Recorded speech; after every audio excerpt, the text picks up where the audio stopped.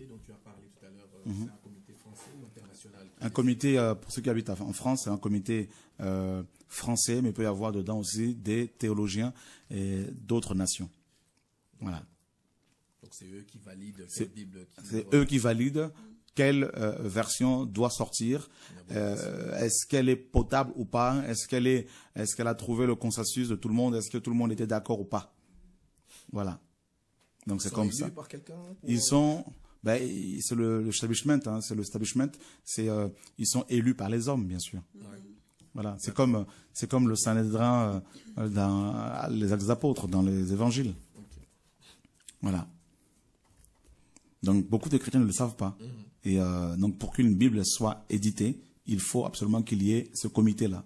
Donc euh, celui qui ose euh, réviser la Bible sans passer par un comité euh, écuménique, ben, est traité de tout le nom, hein, donc euh, d'illuminé, euh, et son travail est, est- est méprisé, et, euh, et voilà. Donc euh, voilà le temps dans lequel nous sommes, c'est vraiment le temps de la, comment dire, euh, de l'occupation. hein. donc euh, le monde est, est sous l'occupation, l'occupation bien sûr du gouvernement de l'antéchrist, d'accord, et les- la majorité de nos églises sont également sous l'occupation bien sûr de la- l'antéchrist. Voilà. Du coup, la sortie de la BJC est un sacrilège pour eux. Mais la sortie de la BJC est un sacrilège. euh, et euh, et, euh, voilà, euh, qui sont ces gens euh, Qui est ce monsieur euh, et Qui finance euh, Qui était là dans ce comité Qui a décidé de donner son, qui a donné son accord, son aval euh, Donc, euh, et voilà.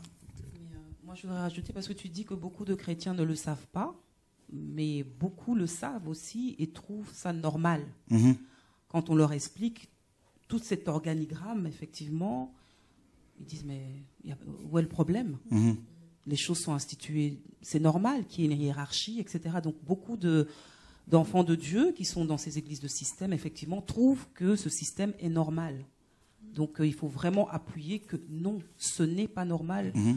Ce- selon la vision de notre Père céleste, selon la vision de Dieu, ce n'est pas normal. Non, ce n'est pas normal, effectivement.